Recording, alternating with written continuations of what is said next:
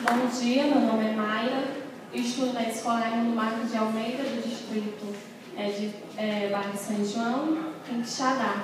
Eu tenho, eu tenho 15 anos. O que eu tenho a dizer é que trabalho infantil não é bom para a criança, porque o trabalho infantil tira a liberdade da criança viver um mundo que, de lazer. Porque quando a criança começa a trabalhar com 12, 10 anos de idade, ela está tirando o quê? A juventude, está tirando a, a ela ter a, o livre-arbítrio de fazer aquilo que ela necessita.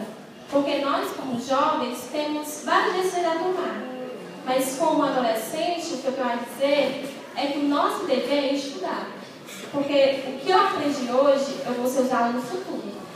Se eu é, trabalho hoje, no futuro, o que eu vou falar para os meus filhos? Não é?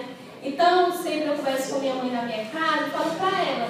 Pergunto se ela achou bom, porque ela começou a trabalhar muito cedo e ela não concluiu. Ela parou de estudar até a quinta série.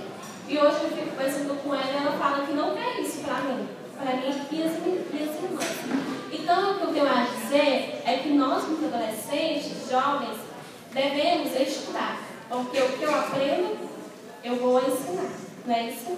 Então vamos todos combater o trabalho infantil. Obrigada.